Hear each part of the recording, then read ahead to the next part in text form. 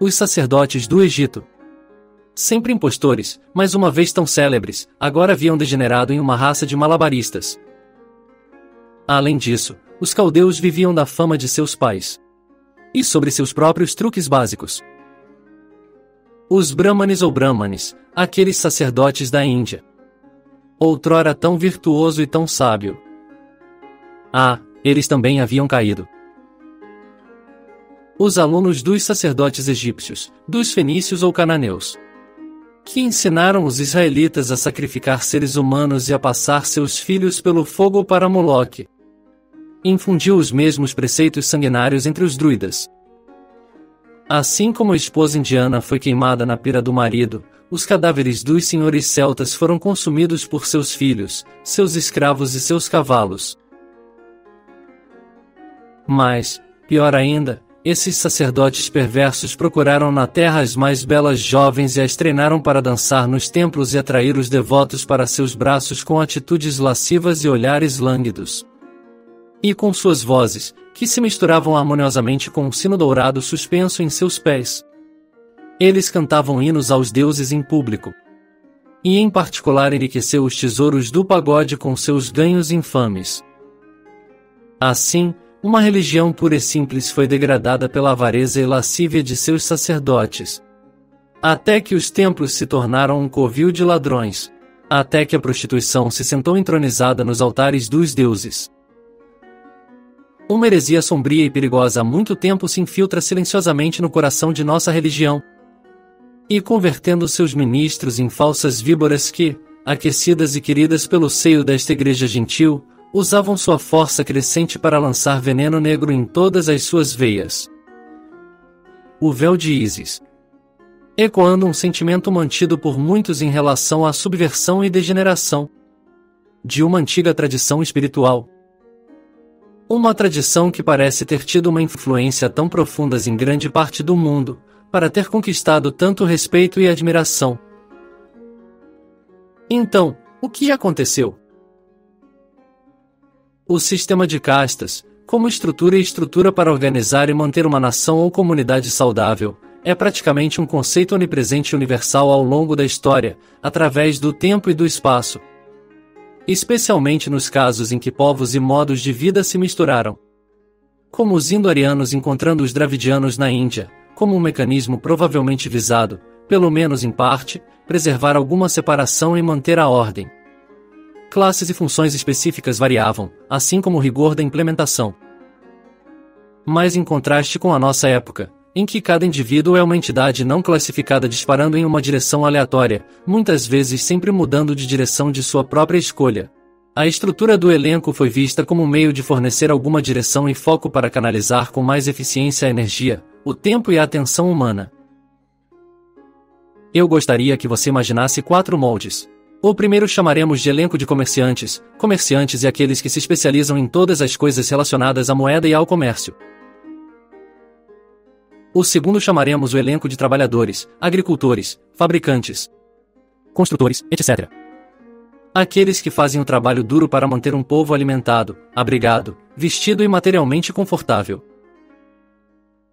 A terceira, chamaremos de casta marcial, dedicado à arte da guerra e ao cultivo da autodisciplina, coragem e destreza marcial. Idealmente, como meio de defender o povo, a cultura ou a nação. Embora igualmente capaz de atuar como uma ferramenta para a conquista ou dominação de terras estrangeiras. A quarta, chamaremos a classe sacerdotal ou professora. Encarregado de entender essa realidade, nosso lugar nela, a natureza de Deus e nosso relacionamento com essa natureza, e compartilhar e espalhar esse conhecimento para facilitar uma noção compartilhada de quem e o que somos, de quais são nossos papéis ideais como seres humanos. E agora que temos nossos quatro elencos hipotéticos amplamente definidos. Uma pergunta. E para preparar o terreno para a pergunta, espero que possamos concordar que cada um desses moldes tem uma forma aproximadamente ideal. Em outras palavras, uma iteração em função saudáveis e positivas líquidas, permitindo que eles disparem com eficiência em todos os cilindros de maneira focada, orientada para o benefício de toda a população. Mas, agora, vamos tentar imaginar o oposto. Ou seja, uma versão corrompida e subvertida de cada um, na qual eles se tornam insalubres, versões negativas de si mesmos e se tornam órgãos de destruição ou degeneração. Neste caso, qual elenco seria o mais perigoso? O mais prejudicial? Ou capaz de produzir efeitos nocivos duradouros? Um argumento poderia ser feito para cada um, certamente. No primeiro caso de comerciantes e comerciantes, nossa era moderna é a prova viva do quanto somos capazes de rebaixar a nós mesmos e a própria vida. Quando essa classe se torna empoderada, e seus mais insaciavelmente gananciosos deixam de ser controlados por quaisquer freios e contrapesos, e um ambiente projetado para inflamar nossos desejos e paixões mais materialistas, e posteriormente, administrar todos os nossos caprichos, é criado. Como nos dedicarmos à busca e obtenção dos prazeres mais superficiais pode nos enfraquecer e baratear. Como pessoas decentes podem ser transformadas em vendedores e vendedores ambulantes, ou produtos e serviços que ninguém realmente precisa apenas para sobreviver. Como o mundo, quando transformado em um mero mercado, pode rapidamente se tornar um ambiente utilitário no qual a quantidade é valorizada em detrimento da qualidade. Estilo sobre substância. E tudo é reduzido ao seu resultado puramente econômico. No segundo caso de trabalhadores e trabalhadores, Talvez o argumento menos convincente, na minha opinião, embora ainda seja um argumento. Uma força de trabalho pode, por exemplo, tornar-se sindicalizada e unida sob indivíduos e instituições corruptos, e exigir cada vez mais em troca de seu trabalho. Excepcionalmente habilidosos são vistos como aborrecimentos ou repreensões permanentes à massa medíocre unificada. E talvez até evitado ou banido. Uma cultura de extrema preguiça desinteressada pode vir a predominar, à medida que o amor por sua nação se desvanece ou quando eles começam a ver os frutos de seu trabalho caírem diretamente nas mãos de um punhado corrupto de indivíduos. E eles perdem a conexão ou ressonância com o propósito superior de seu governo. A máquina de uma nação pode lenta mais seguramente parar. No terceiro caso, no elenco marcial, guerras injustas, ou demonstrações vulgares de poder, ou razões de ego, ou ganho material podem levar a profundo sofrimento e caos. À medida que os exércitos se tornam ferramentas imensamente poderosas nas mãos de almas imaturas com os instintos e desejos mais básicos. Escravidão, conversões culturais ou religiosas forçadas na ponta de uma espada, a mistura não natural de populações que podem ter grande animosidade mútua ou culturas ou modos de vida opostos pode garantir o caos e a infelicidade para as gerações vindouras. Mas no quarto caso, o professor e o elenco sacerdotal, a própria compreensão de um povo sobre o universo e seu lugar dentro dele, sua compreensão de Deus, da natureza, da linguagem, da história, podem ser todos envenenados no nível da raiz. Religiões, estruturas de crenças, até mesmo deuses podem ser criados, destruídos ou, pior ainda, incrementalmente ajustado, alterado e evoluído de acordo com quão benéfica a doutrina ideológica resultante pode ser para os principais membros desse elenco. E tudo isso realizado por trás de camadas de eloquentes, elaborados, discurso e raciocínio complexos e sofisticados, fornecendo poder calmante, convincente ou intimidador suficiente para evitar uma reação significativa ou qualquer ameaça séria ao seu poder ou influência.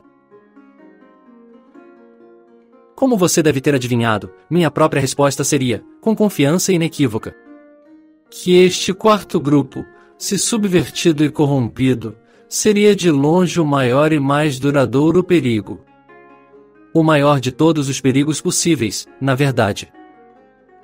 Este elenco de sacerdotes, sábios, professores ou líderes espirituais são os artesãos e cultivadores das ideias. As leis e as filosofias subjacentes, pelo qual o resto da nação opera, incluindo as outras castas em grande medida, pelo menos em um ambiente saudável. Esses homens seriam procurados proativamente para tal orientação e direção. Tradicionalmente, seu papel era falar com os conceitos e leis mais elevados e fundamentais que governam universalmente toda a natureza. Não para ditar ou impor, mas sim expor claramente suas ideias com uma explicação igualmente clara de suas raízes e o porquê por trás delas, em circunstâncias ideais.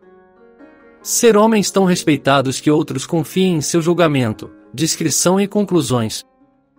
E, assim, abraçar essas ideias e desenvolver suas políticas e militares. Estruturas econômicas e semelhantes de acordo. Esses homens tinham imenso poder. Uma analogia que vem à mente é que existem os guardiões de uma espécie de fonte central com o poder de descobrir e extrair água pura e fresca da nascente para nutrir tudo ao seu redor, ou introduzir sutilmente venenos, produzindo doenças e enfermidades. Você pode estar se perguntando: por que diabos eles podem recorrer ao último? E tendo a acreditar que a resposta para isso está no lado mais sombrio da natureza humana e é incrivelmente simples e direta: poder. Tais homens têm uma escolha entre dois caminhos, sendo o primeiro um mero canal de algo superior, esforçando-se para ser algo como um painel de vidro. O mais cristalino e puro possível. Através do qual a luz pode brilhar. O papel aqui é ser um mensageiro, um servo do divino, um intérprete ou tradutor fiel. O segundo caminho pode ser melhor descrito como sendo um painel de vidro torcido ou distorcido, ou um painel defeituoso e infiel. E é aqui que um mundo de oportunidades se apresenta, abrindo as portas para todas as possibilidades. Imagine ser um mensageiro encarregado por um rei distante de transmitir mensagens aos seus súditos. Imagine como pode ser tentador esquecer acidentalmente uma palavra aqui, ou adicionar uma palavra ali, ou enfatizar demais ou subestimar um determinado termo. Imagine a sensação de poder, a quantidade de controle e influência que isso concederia. Alguns antecedentes históricos antes de prosseguirmos. Um dos aspectos da história com os quais falo com frequência e tento enfatizar é a interconexão. Especificamente entre 3000 AC e o nascimento de Cristo. Entre povos e nações e culturas e impérios que os historiadores modernos parecem retratar como distintos e não relacionados. Este simplesmente não foi o caso. Este período de tempo não foi dominado por numerosas pequenas facções, separados por linhas desenhadas em um mapa, mas pelo que poderíamos chamar de linhagens dinásticas e suas linhas de descendência raciais e culturais resultantes, que se estendia por nossas noções modernas de fronteiras como se fossem completamente sem sentido. Essas relações e interconexões tornam-se especialmente óbvias quando examinamos esse elenco sacerdotal e professor. Parece haver fortes evidências de um relativamente tradição espiritual e filosófica singular que posteriormente se espalhou por vastas partes do mundo, incluindo Índia, Pérsia, território citegótico ao norte do Mar Negro em toda a Europa e na Grã-Bretanha e Irlanda. Inúmeros estudiosos observaram as incríveis semelhanças entre os Avestas persas e os Vedas indianos, e até mesmo a língua avéstica é incrivelmente semelhante ao sânscrito. Homero, especialmente em sua Ilíada, é extremamente reminiscente dos épicos indianos. E ambos são semelhantes às sagas nórdicas, e não apenas em estilo, mas em substância. E essas tradições culturais e míticas claramente relacionadas parecem ter compartilhado também tradições semelhantes de professores ou sacerdotais. A lei era absolutamente central nos tempos antigos, reconhecida como tudo importante. A lei governa todas as coisas. As leis mais elevadas da natureza e do universo são as leis de Deus, codificadas e semeadas em toda a criação. Quanto mais somos capazes de entendê-los e agir de acordo, mas estamos na luz ou da luz. Em outras palavras, os dois fatores dominantes da vida antiga eram a lei e a noção ou compreensão coletiva do divino, e nossa relação com ele como seres humanos. Esses dois fatores estavam tão inexoravelmente entrelaçados que, essencialmente, eram um Os maiores homens dos tempos antigos eram quase sempre legisladores, ou aqueles que codificaram conjuntos de preceitos para orientar nosso modo de vida. Manu e Menes Solon, Moisés e Maomé Licurgo Teodorico e Alfredo, o Grande. Em muitos desses casos, Licurgo em particular, sugere-se que relacionamentos próximos e comunicações regulares com os líderes dessa casta sacerdotal ou de professores ajudou a formular essa lei. Deve-se notar que em fontes gregas e latinas, a diferença entre um magem, um brahmane e um sacerdote caldeu. Foi dito por vários historiadores antigos como não tendo importância ou significado. Eles são referenciados como se fossem todos iguais, surgindo de uma categoria singular. Embora se soubesse que eles eram de três regiões diferentes na Pérsia, Índia e Assíria. Sem dúvida, eles se desenvolveram por caminhos diferentes ao longo do tempo, mas pelo menos inicialmente suas atividades parecem praticamente intercambiáveis. E o mesmo vale para os druidas. Citação: Embora o termo druida seja local, sua religião era de raiz profunda e uma origem distante. Era de igual antiguidade com os dos magos persas, dos caldeus da Assíria e dos brahmanes do Hindustão. Assemelhava-se a eles tão intimamente em seus preceitos sublimes, em suas promessas consoladoras, que não deixava dúvidas de que essas nações, vivendo tão amplamente separadas, eram todas da mesma linhagem e da mesma religião, a de Noé e dos filhos dos homens antes do dilúvio. Eles adoraram apenas um Deus, e erigiram para ele altares de terra ou pedra não lavrada, e oraram a ele ao ar livre. E acreditavam em um céu, em um inferno e na imortalidade da alma. É estranho que esses descendentes dos patriarcas também sejam corrompidos das mesmas fontes. E devem, portanto, ainda preservar uma semelhança entre si nos inquilinos menores de seus credos poluídos. E Clemente de Alexandria afirma, em A Filosofia, então, com todas as suas benditas vantagens para o homem, floresceu há muito tempo entre os bárbaros, difundindo sua luz entre os gentios, e eventualmente, penetrou na Grécia. Seus hierofantes eram os profetas entre os egípcios, os caldeus entre os assírios, os druidas entre os gálatas, as tromanas dos bactrianos e os filósofos dos celtas os magos entre os persas, que anunciaram de antemão o nascimento do Salvador, sendo conduzidos por uma estrela até chegarem à terra da Judéia, e entre os índios, os gimnosofistas e outros filósofos de nações bárbaras. Há até um debate sobre se a fonte dessas tradições se originou no Ocidente e se espalhou para o Oriente, ou se originou no Oriente e se espalhou para o Ocidente. O estudioso Edward Davis afirma. Citação: Um engenhoso amigo meu sugeriu que um dos mestres da ciência misteriosa e secreta entre Simri é o mesmo personagem e personagem de Menu, autor dos Vedas. Quanto a saber se a Grã-Bretanha ou a Índia era o lar inicial, Davis acreditava que a região da Grã-Bretanha era o provável ponto de origem.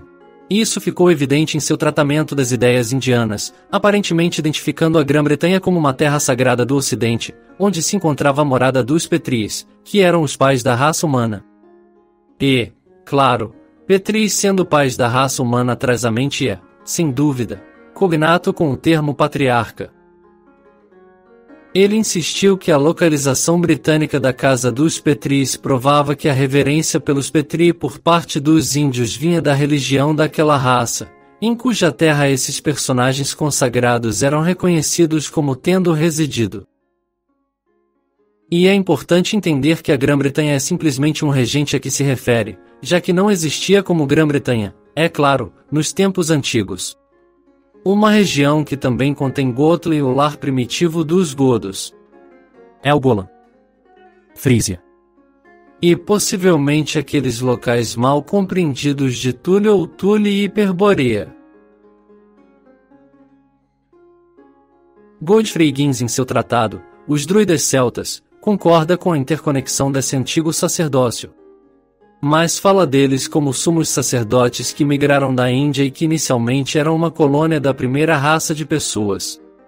De quem ele fala como sobreviventes de um grande dilúvio que encontraram refúgio no Himalaia. Higgins diz: Esses sacerdócios eram dedicados à adoração a Deus com a diferença que havia entre eles representados como variações de um tema e como consequências da distância espacial e temporal. O estudioso Reuben Burro insistiu categoricamente que os druidas eram brahmanes. Citação, sem sombra de dúvida. Um estudioso de antiguidades indianas, Thomas Morese, escreveu uma dissertação sobre as origens indianas dos druidas e sobre a notável afinidade que os ritos e cerimônias religiosas, antigamente praticados nas Ilhas Britânicas, tinham com os dos brahmanes. O ponto de partida da discussão de Morrice foi a afirmação, citação, de que a célebre ordem dos druidas eram os descendentes imediatos de uma tribo de brahmanes. Que ele também conecta o Tibete e os primeiros budistas. Morrice reivindica uma conexão etimológica de druida com o termo celta para carvalho e variantes galesas semelhantes, e o conecta ao nome sânscrito para antigos brahmanes da floresta dos Gundharvas. Também fala aos brahmanes sendo uma vez chamados de Durvasas. Que ele conecta aos derviches como uma consequência posterior. Na verdade, parece que os magos podem muito bem ser cognatos de rabino. E, entre outros, o profeta Daniel no livro da Bíblia foi referido tanto como chefe dos magos quanto dos apalaches. E para falar francamente, acredito que os rabinos talmúdicos da era moderna representam uma tradição extremamente degenerada do que significava desempenhar esse papel no mundo antigo, para dar uma ideia adicional de seu propósito e função. Vamos primeiro examinar a etimologia desse termo fascinante e importante. Magia está ligado à magia e aos mágicos. Para mago e mago. E provavelmente está conectado a um termo magu. Usado por pelo menos um historiador árabe, da perspectiva árabe. Como um termo geral para descrever todos os indivíduos nórdicos ou nórdicos pelos andaluzes. Talvez porque ele tenha vindo a associar genericamente uma linhagem racial de pele mais clara a esses professores e padres, Embora isso seja em grande parte especulação e adivinhação da minha parte. Magni, Maga e Magoi são rótulos relacionados, e as palavras magnificar, magnífico e magistrado. A raiz da palavra parece remontar ao proto-indo-europeu mag, que significa ser capaz, ter poder, bem como muitas palavras e conceitos de raiz derivadas semelhantes nos muitos ramos da família de línguas arianas e indo-europeias. Nos Vedas, Indra tem muitos epítetos. Notavelmente, Magava, que significa magnânimo. Muito eficiente. O sânscrito Mahatma, magnata ou grande alma, vem da mesma raiz. Parece que esses magos eram a facção com o poder de moldar, dirigir, mudar, canalizar. Para falar as coisas à existência e, de fato, inicialmente a palavra parece ter muito a ver com a fala, a música e o poder da palavra. A referência mais antiga sobrevivente aos magos vem dos gatas poéticos.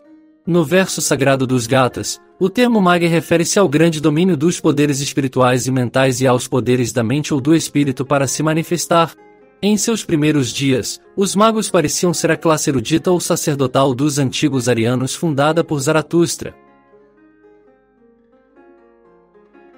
Às vezes chamado de Zoroastro.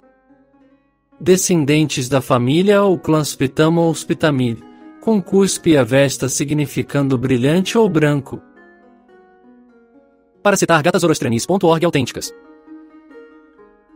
O termo magos denota a Irmandade dos Mestres Eruditos, fundada pelo antigo profeta ariano Zaratustra. Os magos eram seguidores de Zaratustra ou seguidores do que o mundo helenístico mais tarde associou a Zaratustra.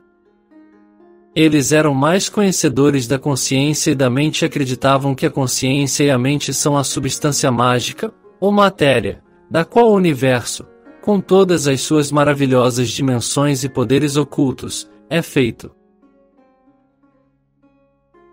Inicialmente, esse elenco sacerdotal generalizado parecia estar fortemente associado ao uso de todas as vestes brancas feitas de linho fino, às viagens a todos os cantos do mundo, ao compartilhamento e concessão de lei, julgamento e ordem e sabedoria espiritual.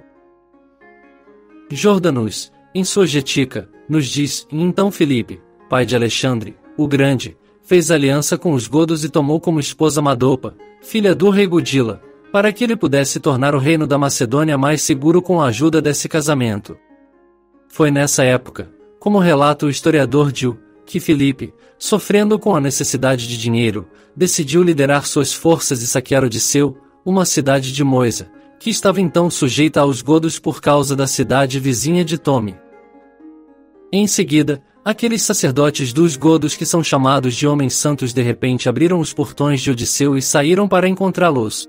Eles carregavam harpas e estavam vestidos com vestes nevadas e cantavam em acordes suplicantes aos deuses de seus pais para que pudessem ser propícios e repelir os macedonios.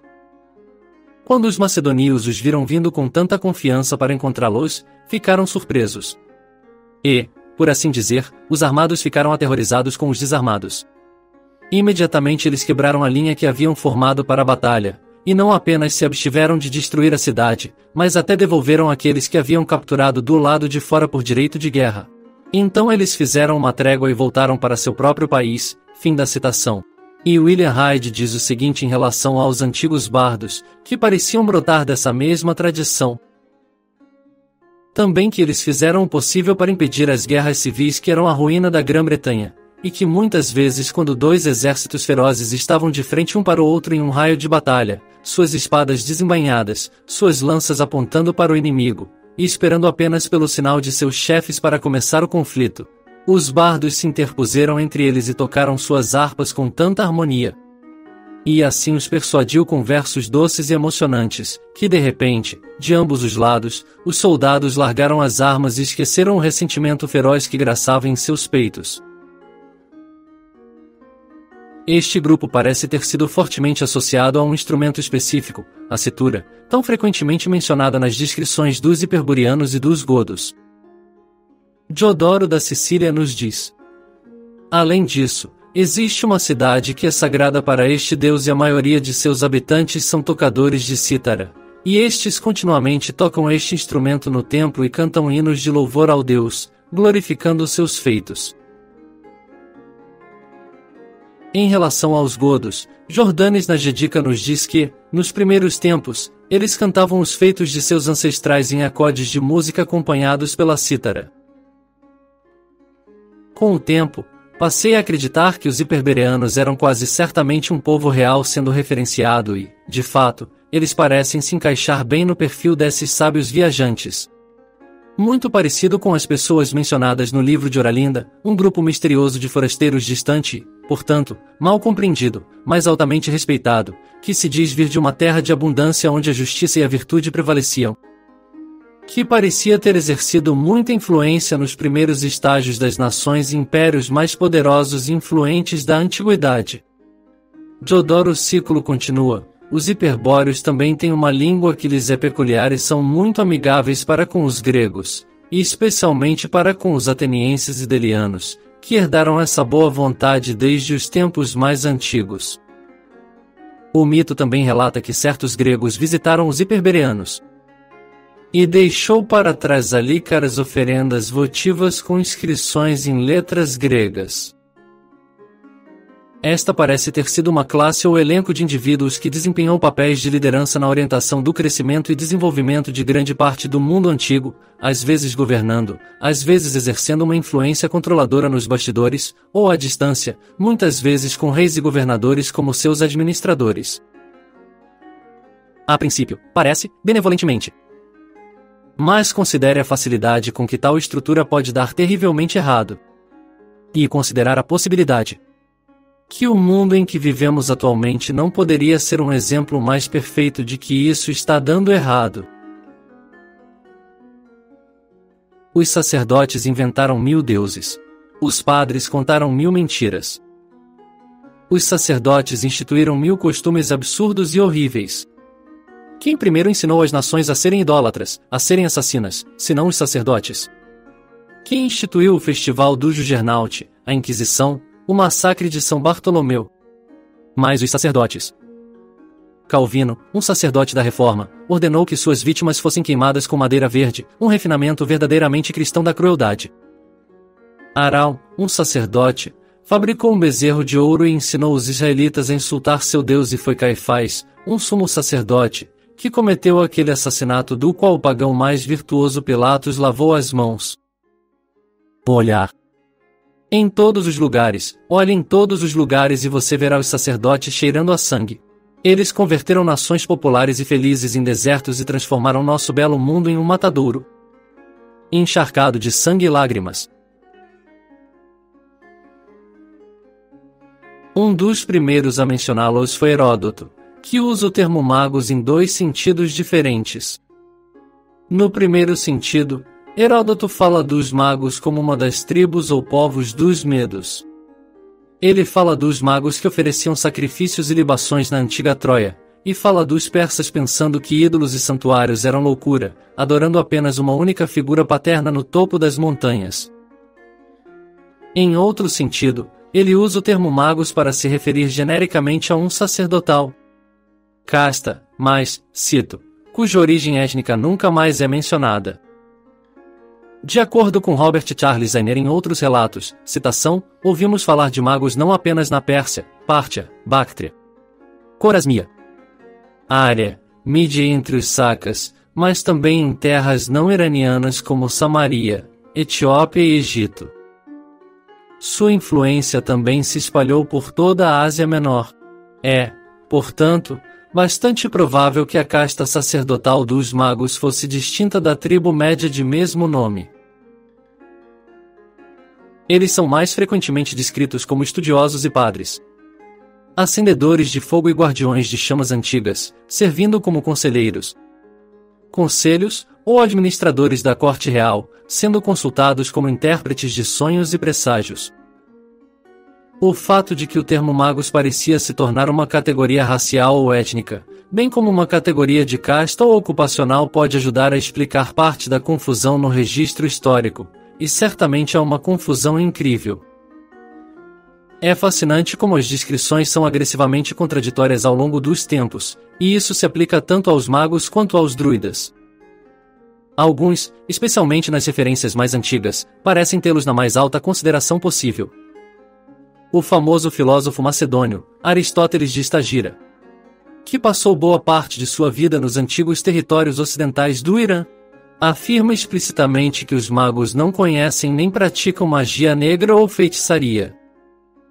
Outras fontes gregas anteriores ao período helenístico incluem o cavaleiro soldado Xenofonte, que teve experiência em primeira mão na corte persa Aquemênida. Em sua Seropaedia do início do século 4 AC, Xenofonte, que visitou o Império Aquemênida em 401, retrata os magos como autoridades em todos os assuntos religiosos e imagina que os magos sejam responsáveis pela educação do imperador.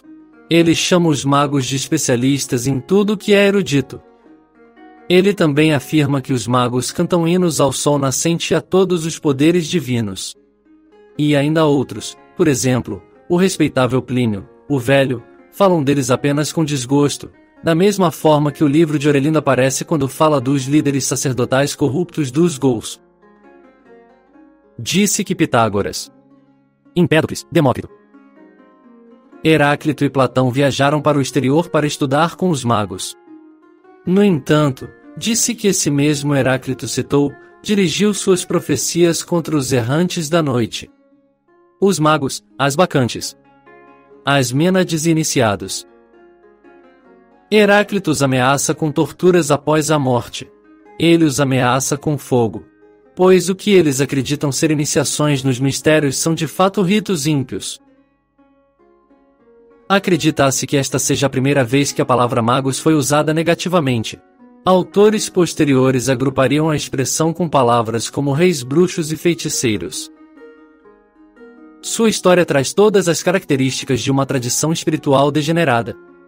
E passei a acreditar que a chave para realmente entender muito do passado e do presente está em desempacotar e compreender o caminho dessa subversão e degeneração. A maioria de vocês pode estar familiarizada com o termo magos de sua iteração mais amplamente usada, referindo-se aos três reis magos, que também é traduzido como reis e sábios, que dizem ter viajado para assistir ao nascimento de Jesus.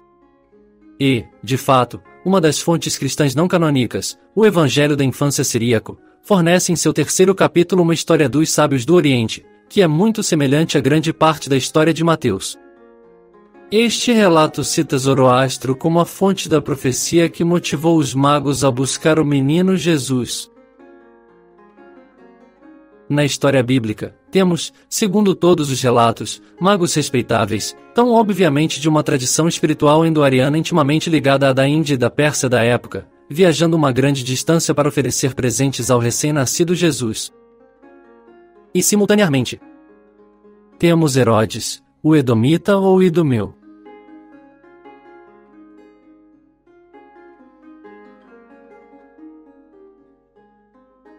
Essa linhagem edomita ou idumeia, um povo decididamente não israelita enxertado no ramo judaico dos israelitas devido à sua conversão forçada pelo governante Asmoneu João Hircano, continuaria a dominar o templo e ajudar a promover a tradição rabínica talmúdica subsequente. Para aqueles que acreditam que esse massacre de crianças é mera invenção histórica e, claro, Herodes e sua família e sua linhagem resultante, Tal massacre não seria nem um pouco fora do personagem, para dizer o mínimo.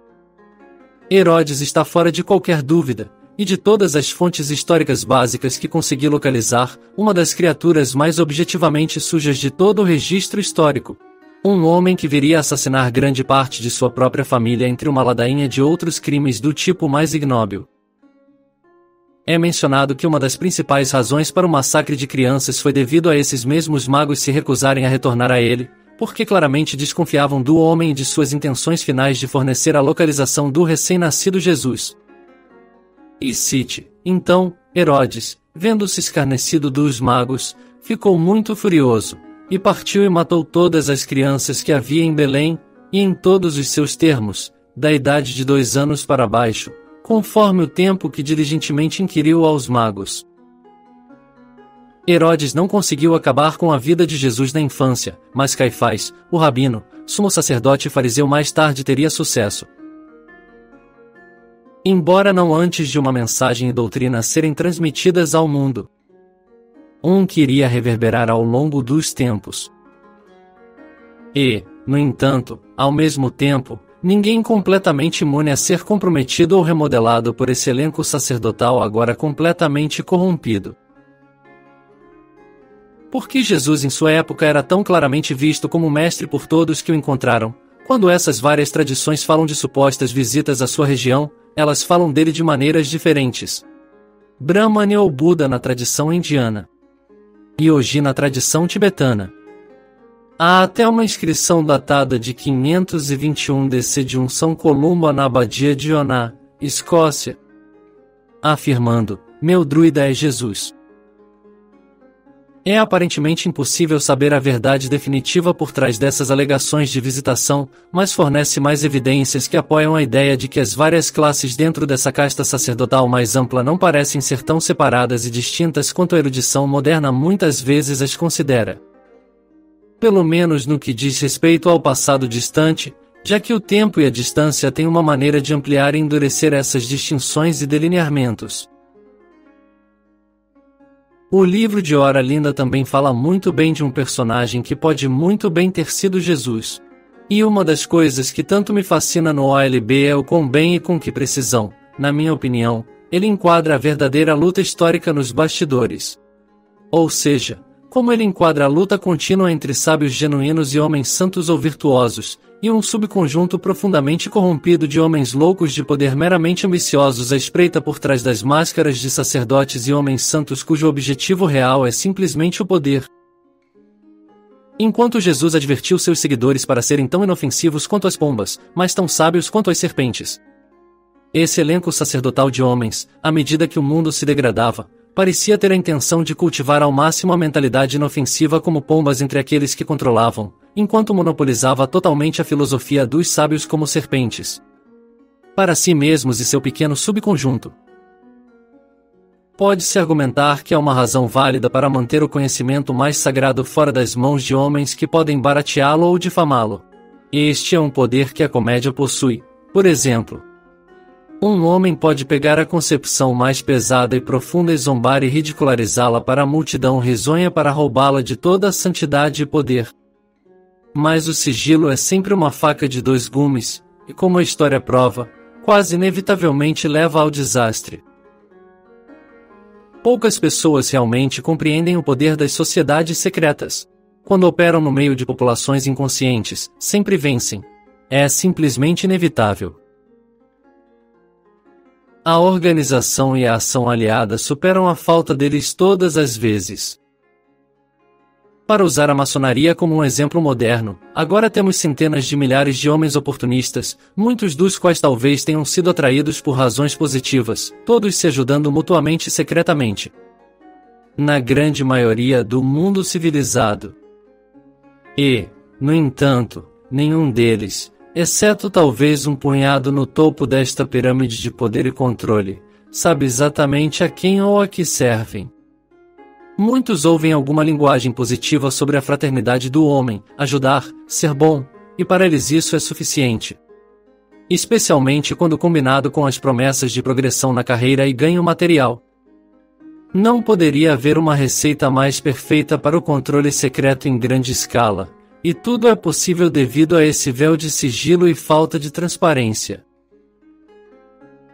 E juntamente com o sigilo, a degeneração dessa tradição elevada foi acelerada e marcada por uma mudança ridícula de foco, à medida que a ênfase mudou de uma noção relativamente pura, clara e lacônica de lei, do que significava ser justo e trilhar o caminho sagrado para uma doutrina extensa e complexa, e começou a incorporar ações rituais muitas vezes absurdas. Os druidas diziam a seus seguidores que o samulus que crescia em lugares úmidos deveria ser recolhido por uma pessoa em jejum sem olhar para trás e com a mão esquerda.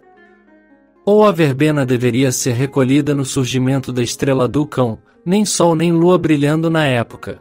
Deveria ser cavado com um instrumento de ferro e agitado no ar, sendo usada apenas a mão esquerda.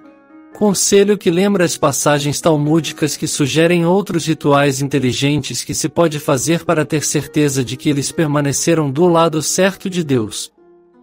O que tudo isso representa é ritual e minúcias, sobrepõem-se à doutrina mais pura e fundamental, muitas vezes agindo como brechas, permitindo que uma pessoa essencialmente se safe de pecados ou ações que o resto de nós pode considerar abominável ou injusto, injusto, desde que dê tapinhas na cabeça de tal e tal maneira, ou gire em X número de círculos.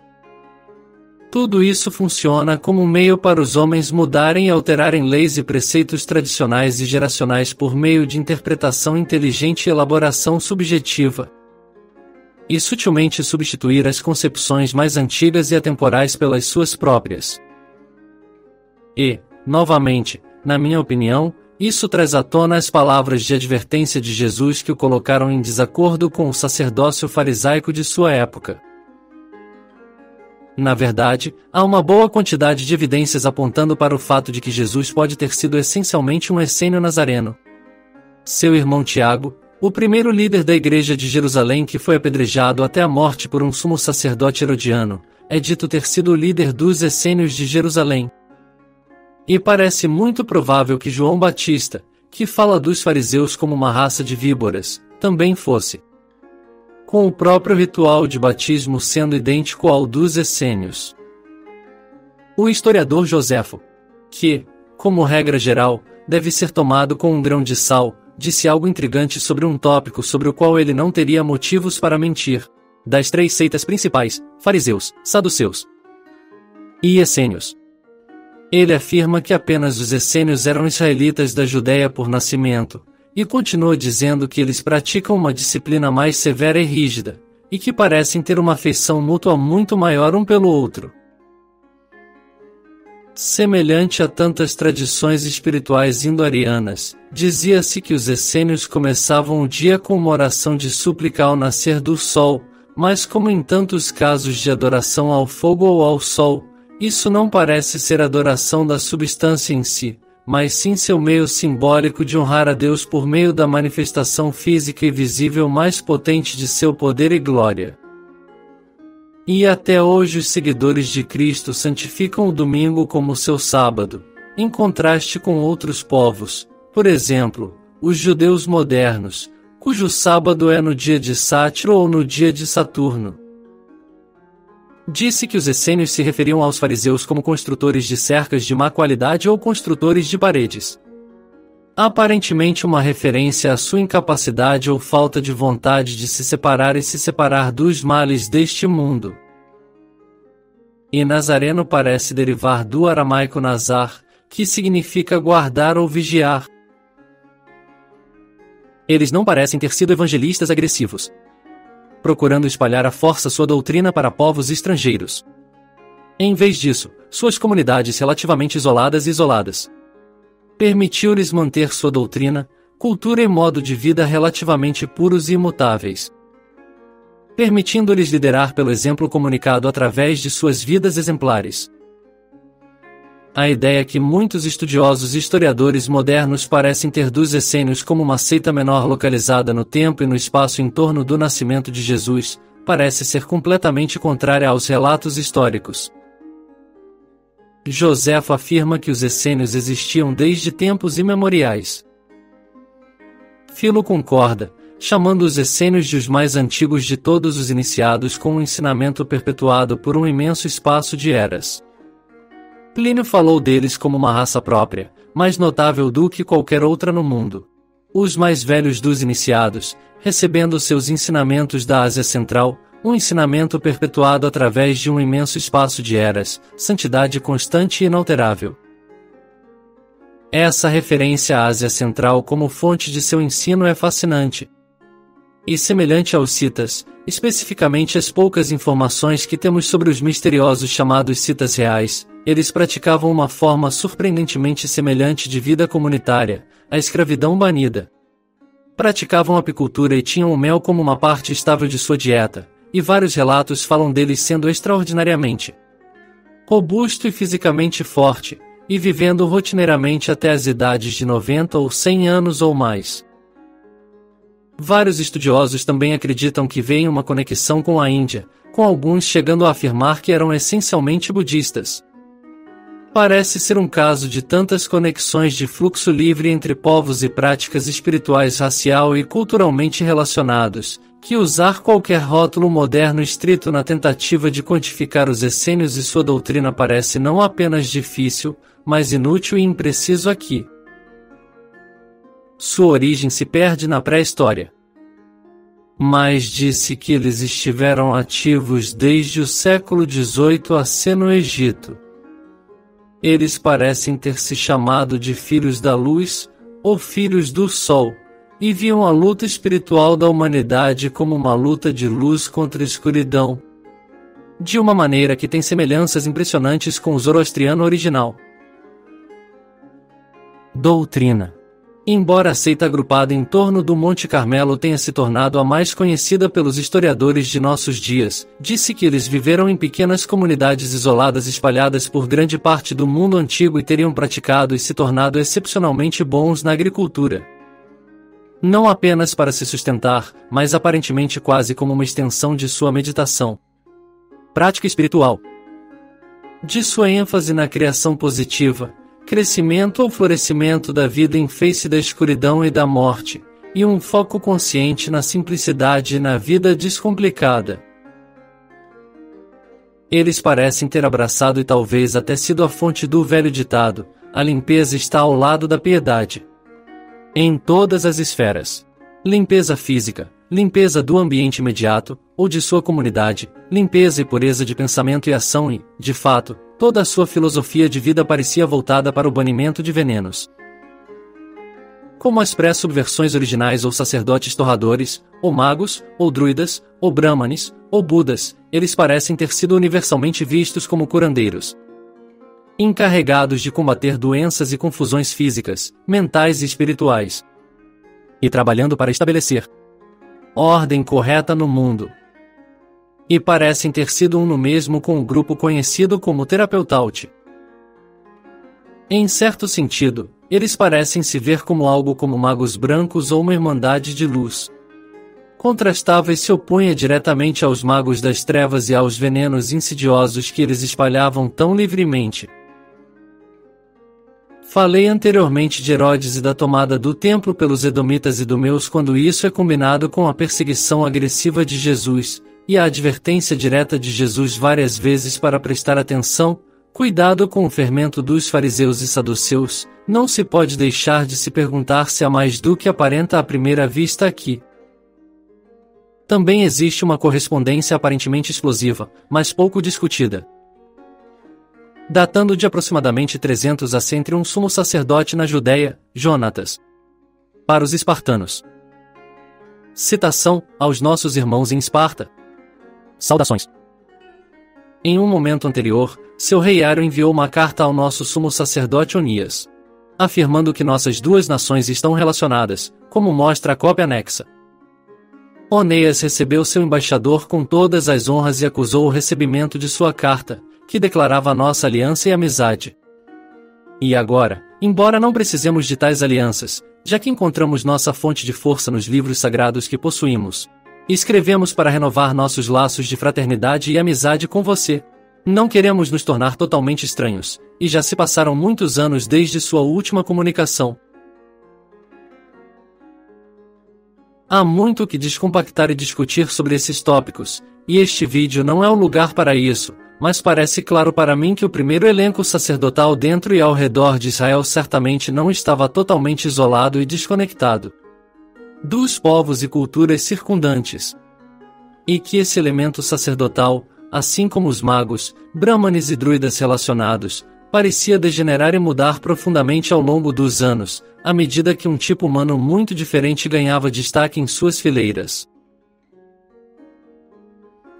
A razão pela qual tantas vezes falo do guerreiro e do elenco marcial com respeito, e tendo a considerá-los mais saudáveis na orientação geral, é por causa dos quatro elencos hipotéticos mencionados.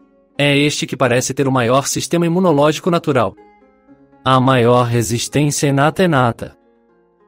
Para aqueles que desejam enganar e subverter, Tais personalidades subversivas são quase sempre covardes. E homens fracos que preferem subterfúgios e sofismas. Esses conjuntos de habilidades, totalmente cultivados e habilmente manejados, podem realizar muito, especialmente entre as castas mercantes ou sacerdotais. Mas um guerreiro lacônico espartano ou cita, por exemplo, provavelmente permaneceria impassível. Cheguei a acreditar que é, pelo menos em parte, por isso que as nações ou culturas com tradições marciais em seu núcleo parecem ter retido muito mais desse etos antigo e uma orientação mais saudável e robusta. E isso nos leva a um ponto importante. Em um ambiente ideal, semelhante ao tipo sugerido nas descrições do antigo cita, ou godo, ou fria, ou hiperbóreo. Não deve haver praticamente nenhuma animosidade ou desconfiança. Entre as castas, e, de fato, isso parece ser uma necessidade se um povo busca prosperar. E talvez tão importante. Embora isso possa ser apenas outra maneira de dizer a mesma coisa, eles não podem ser totalmente desconectados um do outro.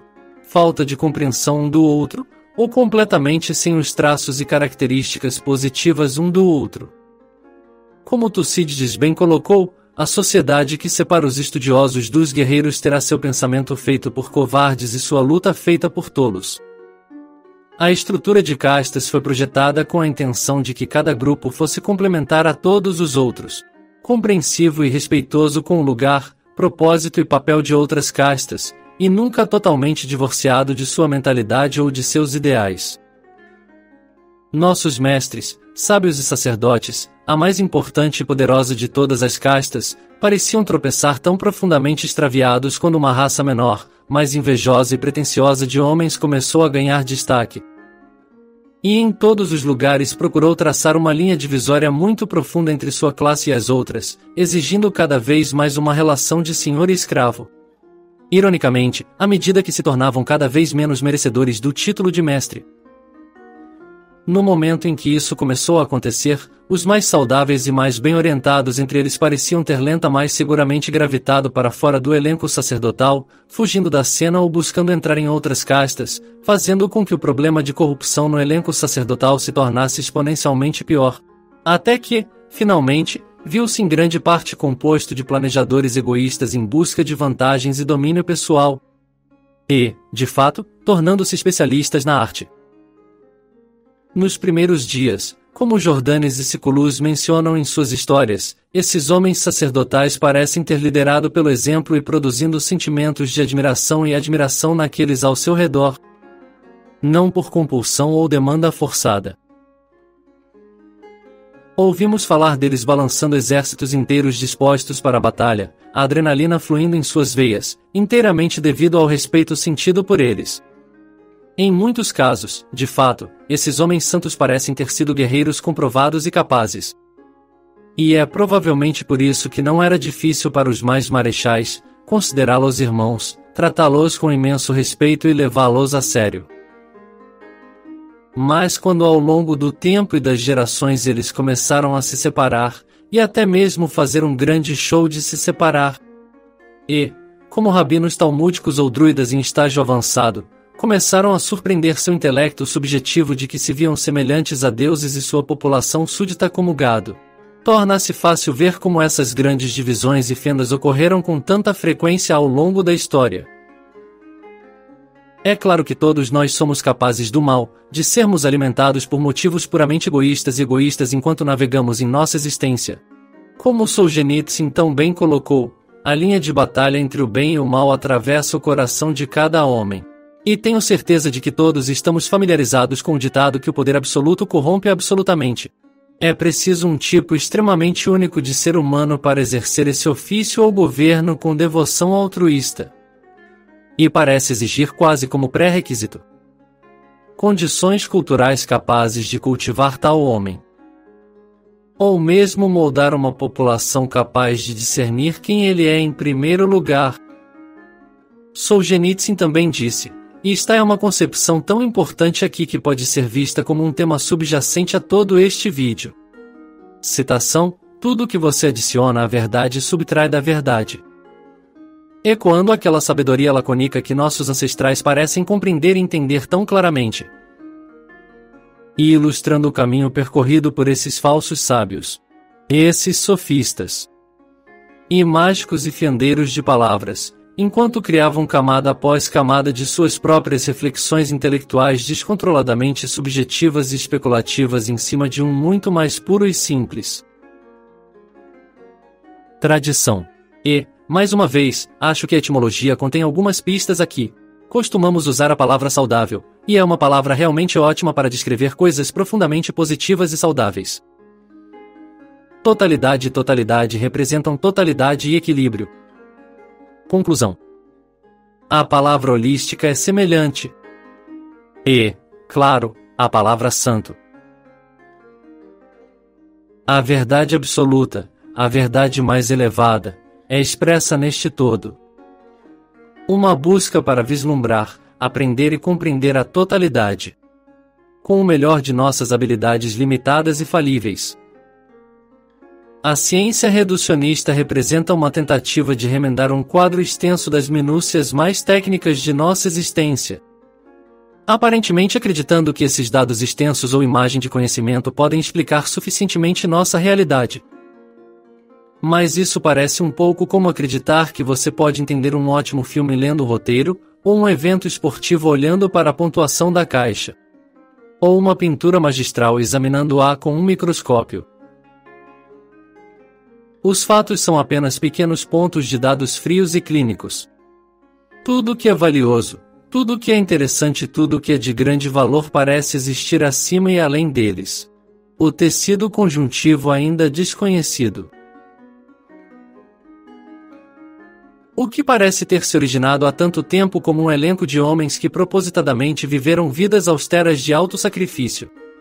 Dedicando-se à tarefa de alcançar uma compreensão mais profunda do nosso mundo, a fim de guiá-lo e moldá-lo positivamente, em todos os lugares se transformou em algo muito diferente. Em vez de servir a Deus e ao povo, eles encontraram métodos engenhosos para se tornarem os deuses do povo e torná-los seus escravos. Lembro-me da citação do Rabino Vadia Yosef afirmando essencialmente que outros nasceram para servi-los. Ou as declarações rabínicas semelhantes indicando que um objetivo futuro é a escravidão total. E eles não estão sozinhos aqui. Ordens jesuíticas e maçonicas. Várias sociedades secretas proeminentes e provavelmente interconectadas, o Vaticano. Todos parecem resumir. O mau pastor. E parecem buscar um futuro em que seu domínio e controle sejam completos e inquestionáveis. E aquele em que a lei natural e superior pode ser totalmente transgredida sempre que for adequada aos seus objetivos. Pode até ser justo dizer que essa mesma transgressão é o objetivo deles. Acho digno de nota que Reuben Burrow, que citei anteriormente, rejeitou a possibilidade de que os druidas tivessem sido mortos e seu conhecimento perdido. Sugerindo que é muito mais provável que eles se tornaram professores, maçons e cartomantes. Examine as inclinações políticas, ideológicas e filosóficas desses grupos e você não encontrará praticamente nenhum conflito entre eles. Você também descobrirá que todos eles estão cada vez mais apoiando uma religião singular, embora nunca a chamem por essa palavra, destinada a operar acima e além de todas as outras. A religião da ciência. A ciência moderna, ironicamente operando a partir da maior de todas as concepções baseadas na fé em sua insistência de que definitivamente não existe criador ou poder superior, subsequentemente se disfarça como essa própria autoridade suprema. Com seus equivalentes diretos de druidas e rabinos e magis como a autoproclamada classe de especialistas. Uma classe que parece ter perdido completa e totalmente sua conexão com a fonte. Marchando como crianças importantes, vestindo as roupas dos pais, fazendo julgamentos definitivos e declaratórios em todos os lugares que vão, e ainda assim falhando miseravelmente. Uma e outra e outra vez. Eles estão totalmente perdidos, e por serem a força governante em nosso mundo, ameaçam arrastar o resto de nós com eles. Uma tradição degenerada. Degradado quase além de qualquer esperança de reparo. Muitos ainda pensam na ciência como se fosse uma busca incansável e objetiva da verdade, de dados e informações confiáveis e confiáveis sobre o qual podemos construir uma compreensão melhor e mais clara do nosso mundo. E houve períodos da história em que parecia haver algo próximo disso. A Europa antes das guerras mundiais parece um excelente exemplo. As mentes mais brilhantes do mundo dedicadas a descobrir novas espécies de plantas e animais e entender seus atributos. Explorando e estudando exaustivamente nossos oceanos e céus. Muitos verdadeiros gênios com curiosidade sem limites, e autodisciplina suficiente para não ultrapassar ou dar saltos selvagens, mas para avançar de forma sóbria, disciplinada. Maneira política. Esses eram verdadeiros intelectuais, um descritor que antes significava algo real, e acredito que este foi um período de verdadeiro progresso. Mais uma palavra que se tornou quase sem sentido.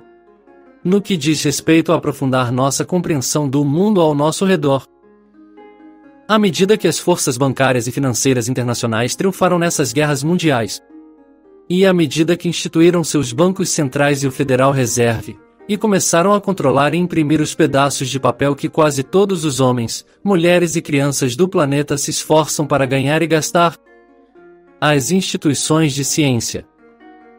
Como qualquer outra instituição significativa, poderosa ou influente, começou a mudar gradualmente de forma e se tornar algo muito diferente.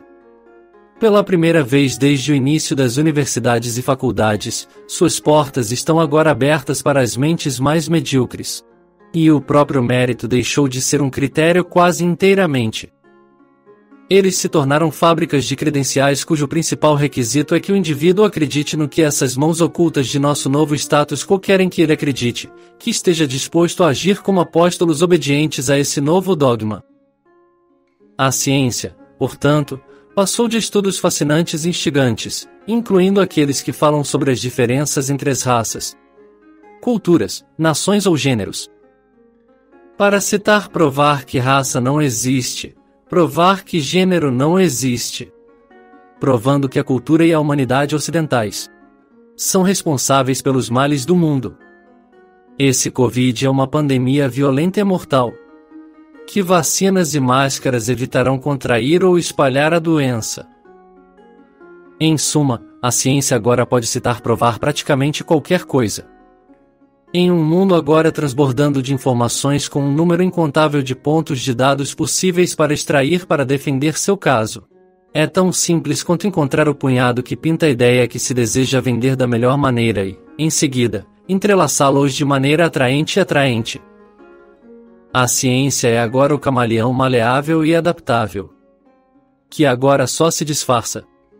Como um buscador da verdade friamente lógico, racional, obstinado e inabalável. Em um ambiente em que a crença em um Criador foi lenta mais seguramente despedaçada, e talvez ainda mais importante, pintado sob uma luz negativa vergonhosa na maioria das vezes, esse subconjunto do público que busca ser visto como elegante, inteligente ou bem educado não pode deixar de natural e instintivamente migrar para esse novo dogma. Esta nova religião baseada na fé. Que tão efetivamente e desonestamente finge estar acima dos saltos de fé. Acima daquelas pessoas tolas e ignorantes com a coragem de manter crenças semelhantes às de essencialmente todos os grandes gênios em todas as gerações, que veio antes. Pelo que vale a pena, proponho que esse truque magistral seja essencialmente um ato de mágica. E como acontece com qualquer bom mágico, o truque só retém seu imenso poder quando o observador não sabe como é feito. Ilusão, engano, manipulação e subterfúgios. Estas são as marcas de nossos magos modernos, que refinaram sua arte sombria ao longo das gerações a tal ponto que a grande maioria de seu trabalho manual ainda permanece despercebida. Atrás de telas de fantoches, frentes, máscaras, ao mesmo tempo em que usam todos os meios à sua disposição para manter o controle sobre a estrutura de incentivo e punição, em termos gerais. Para tirar o máximo proveito de um público atomizado que busca cada vez mais seu próprio interesse imediato. Atraídos para o sono por pão e circo. A Revolução Francesa marcou um dos muitos pontos de virada importantes, preparando o terreno para o ambiente doentio que enfrentamos hoje. A reunião e o estímulo da multidão em uma raiva enlouquecida e assassina antes de apontá-los para a antiga nobreza e aristocracia. Para dizimar totalmente suas fileiras. Ou Cromwell na Inglaterra, ou a Revolução Bolchevique na Rússia, e o assassinato brutal de toda a linhagem Romanov para acertar as contas antigas. Esses movimentos que se esforçaram tanto para se trair como movimentos populares populistas contra Elites opressivas, na verdade, funcionavam como meios para abrir a porta para algo muito, muito mais sombrio. Durante décadas, fomos bombardeados com histórias de horror sobre os perigos do homem forte ou da monarquia. E esses vencedores, autores dos livros de história, procuraram trair esses homens e suas formas de governo como a raiz de todo o mal. Enquanto isso, o poder quase absoluto foi transferido em todos os lugares desses patriarcas e seus descendentes, para as mãos de famílias de banqueiros e seu pequeno exército obediente de colaboradores. E comprou homens. Por trás da máscara de noções elevadas como democracia, capitalismo ou representação igualitária. Fachadas de equidade e justiça. Moloch e Mammon em uma máscara. Falei em um vídeo anterior sobre como raças, culturas ou nações essencialmente se moldam ao longo do tempo, como representações arquetípicas manifestadas do coletivo. Promover e cultivar seu próprio conjunto único de pontos fortes e fracos. Esferas únicas de domínio ou pontos cegos. Eu pediria que você considerasse a possibilidade de uma cultura única de indivíduos que agora representam o produto final de uma cultura intergeracional. Maquiavélico. Autoria de tipos em que eles não estão se esforçando para ser os mais inteligentes, criativos e artísticos. Inventivo ou de outra forma capaz. Não buscando melhorar o mundo ou encontrar maneiras de torná-lo mais organizado, estável, seguro, feliz ou saudável, mas sim focando inteiramente, exclusivamente, apenas na obtenção de uma posição dominante por todos os meios necessários. Vamos até fingir, para fins de argumentação, que tal grupo ou cultura coletiva não existia, mas apenas indivíduos desse tipo existiam aqui e ali espalhados pelo mundo. Você acha que esses tipos podem eventualmente se encontrar? Pode encontrar uma causa comum e um terreno comum, formar alianças e começar a trabalhar silenciosamente uns com os outros em direção a objetivos comuns? E se isso ocorresse? Você acha que saberia? Há uma razão pela qual os grandes homens sempre acharam sigilo, especialmente no cenário mundial, ou no que diz respeito à política, repugnante. As conspirações são inerentemente desonestas. E nenhum líder que ama seu povo teria motivos para se esconder nas sombras ou tentar entrar pela porta dos fundos. Tais homens não teriam nada a esconder porque suas intenções são puras, simples e diretas. Nossos atuais corretores de poder encontraram maneiras criativas de massacrar gerações inteiras de tais homens, suas famílias, apoiadores e parentes ideológicos e culturais. Nas duas guerras mundiais, milhões de homens corajosos e íntegros foram roubados de sua própria existência. Seu sangue se transformou em fertilizante nos campos da Europa. Enquanto os cofres desses homens à espreita nas sombras explodiram. Os rendimentos que eles usaram em parte para levar ao poder um novo, mais manso e mais domesticado. E domesticável. Tipo de humanidade. E, portanto, incrementalmente. E lenta mais seguramente o laço se apertou cada vez mais. Então, os magos, os druidas, os brahmanes e ordens semelhantes eram bons ou maus? Parece-me uma pergunta impossível de responder porque acho que é a pergunta errada, e uma pergunta falha porque eles não têm sido uma entidade estática e imutável ao longo do tempo. Uma pergunta mais informativa pode ser como eles mudaram, se transformaram e evoluíram ao longo dos milênios? E será que nosso moderno elenco sacerdotal ou professor agora tem alguma semelhança com essas figuras elevadas do alvorecer da história humana? Ou podemos estar lidando com impostores. Uma tradição propositalmente subvertida e conscientemente degenerada e degradada. Abrindo a porta para o governo secreto de um tipo de humanidade que nunca poderia atingir ou reter tal poder absoluto à luz transparente do dia,